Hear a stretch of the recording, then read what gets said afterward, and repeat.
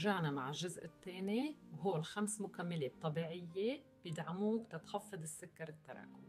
إذا حضرتوا الفيديو السابق خبرتكم عن خمس خطوات حياتية مهمة تنخفض أشباء أنسة اليوم رح نكمل ونحكي عن خمس مكملات طبيعية فيكم تستعملوها تدعموا صحتكم أكثر المكمل الأول القرفة.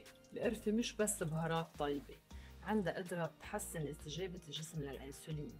يعني بتخلي السكر يفوت على الخلايا بطريقة أسهل وما بيضل يبرم بالدم. فيكن تضيفوه على القهوة اللبن أو حتى بالطبخ. بربرين. يمكن سمعتوا عنه. بسموه الميتفورمين الطبيعي. دراسات كتيرة بينت إنه بخفض الأشباع وبيساعد إنه يحسن حساسية الإنسولين. بس لازم يتاخد بجرعة مدروسة واستشارة إذا عندكم أدوية تانية. فيتامين دي. هذا الفيتامين مش بس للعظم.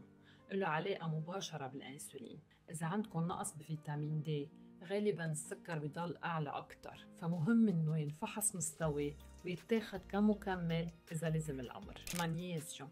مغنيسيوم بهدي الأعصاب وبيساعد العضلات. فكمان له دور بتنظيم مستوى السكر. الأشخاص اللي عندهم نقص مغنيسيوم عادة بيكون عندهم مقاومة أنسولين أعلى. الأوميجا 3 من أقوى مضادات الالتهاب. والالتهاب هو واحد من الأسباب يلي بتخلي السكر والأنسولين يضلوا عاليين فيكم تاخدوه من السمك الدهني أو من مكمل غذائي. بذكركم وبضل ذكركم إنه المكملات لحالها ما بتكفي. لازم نمشي مع أكل صحي حركة ونوم وعدم ستريس. إذا جمعنا بين الخطوات والمكملات صدقوني الفرق رح يكون واضح بنزول الأشباع جربوا وشاركوني تجربتكم بالكومنت.